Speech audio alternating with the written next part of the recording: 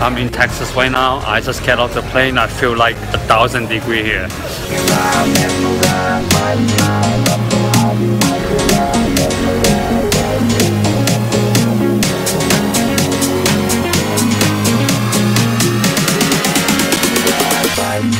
I'm so happy.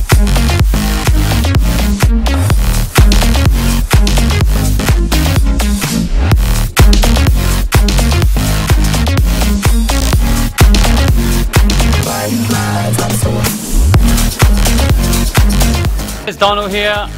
Ashley and Alex. We are in the middle of uh, Texas Floral Expo right now, and we are at the back room here and working our program. And are you guys having fun? Go. Tons of fun!